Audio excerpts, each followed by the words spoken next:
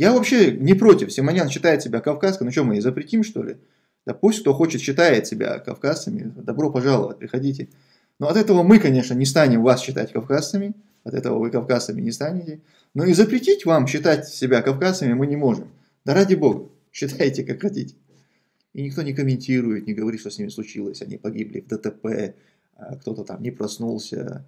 Просто этих людей забыли, их больше нет.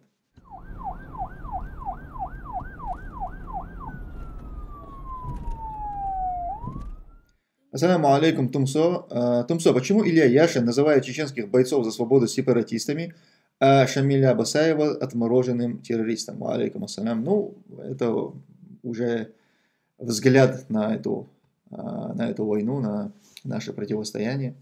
И то, что на эту ситуацию Яшин, допустим, смотрит с такой точки зрения, а, это мне неприятно, я это не приемлю, но я это могу понять и как бы вести диалог учитывая да, эти моменты. То есть это уже как бы такая политика, это дипломатия.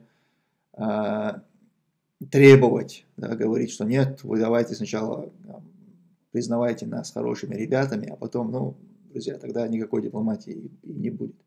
Я вам напомню, что когда заключался мирный договор с Россией, между Россией и Ичкерией в 1997 году, на тот момент а, Россия официально называла Басаева террористом, рейд на Буденовский, версию Буденовский называли терактом, но это ведь не помешало нам заключить мирный договор. Поэтому, да, мы, конечно же, с этим не согласны, мы будем э, это оспаривать, но это не должно быть препятствием к тому, чтобы иметь диалог. Диалог в любом случае надо иметь. Ассаляму алейкум, брат, не в курсе, почему Кадыров убрал парня, имя не помню, но слышал, что э, называли Мамак здоровый такой, с Тайсоном он еще фоткался. Ва алейкум ассаляму раматуллах. Да, это была такая нашумевшая история, по-моему, 2009 год это был.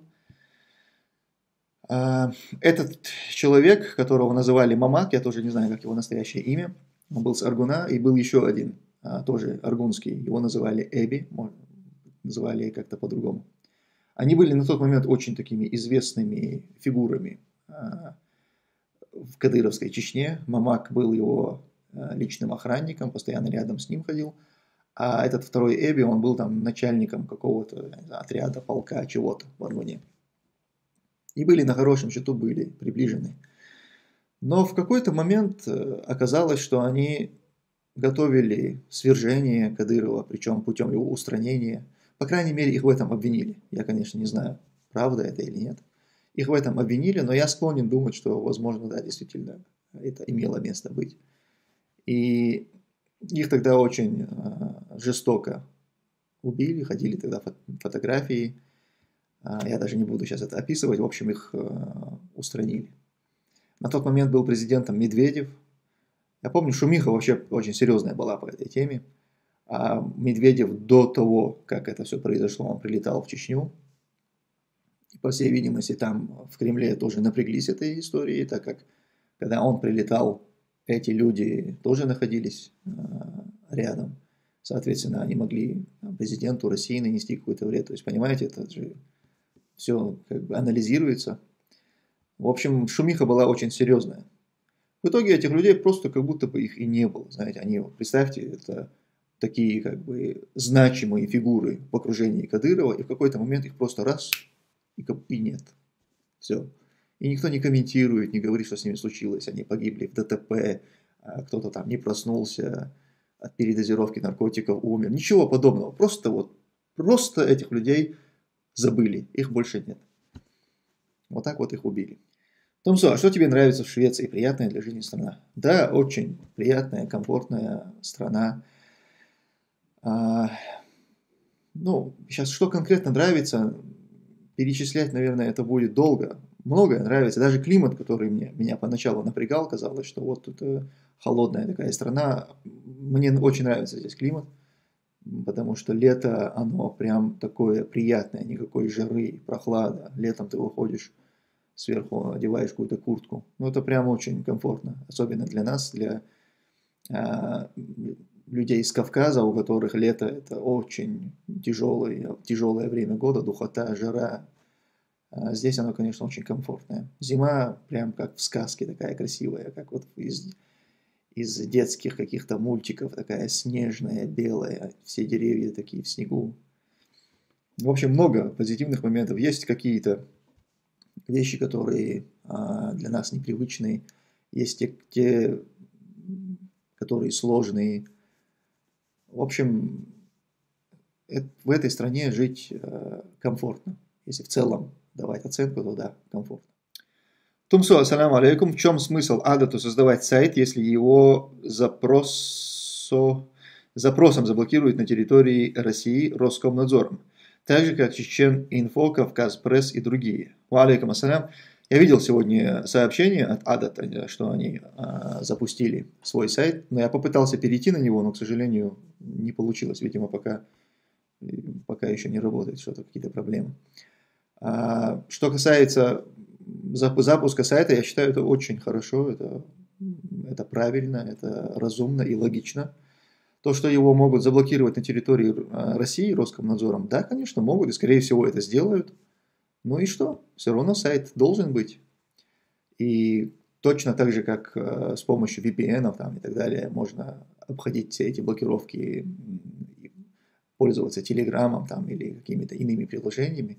Также можно будет заходить и на этот сайт. Все заинтересованные смогут его посещать со своих мобильных гаджетов. Да, это, конечно, усложнит, это не все а, смогут там, пользоваться этими VPN и так далее, но Кому надо, как говорится, тот сможет. Кто меня знает, тот меня знает, как говорил Дугазаев. Так что это отличная э, идея, реализация проекта. Я с этим поздравляю Адат. И пусть продолжают в том же э, ритме. Я считаю, что эти ребята делают очень плодотворную работу. Закавказье это придуманный совками термин, потому что типа Сев, Севкав это РФ и это Кавказ, а все остальное Закавказье. По такой логике тогда Севкав тоже не, не Кавказ, а пред, предкавказье. Мне не интересен этот спор. А, ваше, знание географии, ваше видение на географию, ну что поделаешь. Вы могли бы таки, с таким же успехом приписать э, Кавказу и часть Европы, сказать, что это Кавказ. Ну окей, у вас такое мнение, тем, тем не менее мы-то сами кавказцы прекрасно понимаем, кто кавказцы, а кто не кавказцы. В конце-то концов есть ДНК-генеалогия, которая показывает, что грузины – это часть кавказских этносов. Но не, не азербайджанцы и не, ну, не большинство азербайджанцев. Среди азербайджанцев, конечно, есть а, кавказские народы, которые стали, ассимилировались, так скажем, с азербайджанцами и не армяне. Да, это чисто даже по, по ДНК это можно отследить. Ну а так вообще логика людей, которые говорят подобное, ну окей, тогда если, если Азербайджан и э, Армения с Грузией это Южный Кавказ, а где тогда за Кавказе? Это кто? Это Иран, это Турция, это Болгария, Греция, это за Кавказе.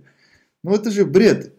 Почему вы пытаетесь то, что как бы веками да, уже установилось, то, как, то, чем пользовались всегда теперь вы пытаетесь это поменять просто в свою угоду, чтобы оправдать слова какой-нибудь Симонян там или еще кого-то. Я вообще не против. Симонян считает себя кавказским. Ну что, мы и запретим, что ли? Да пусть кто хочет считает себя кавказцами. Добро пожаловать, приходите. Но от этого мы, конечно, не станем вас считать кавказцами. От этого вы кавказцами не станете. Но и запретить вам считать себя кавказцами мы не можем. Да ради бога, считайте как хотите. Ну что, какая разница, Кавказ или не Кавказ? Мы же все братья. Или ты забыл, такая реакция у тебя, мы должны быть все а, равными. Так никто и не говорит, э, что мы не братья. Братья, все верующие братья. Но то, что мы все верующие братья, это же не делает нас всех кавказцами. Я что-то не понял этого замечания. Причем здесь братья мы или нет, и, и вопросы Кавказа.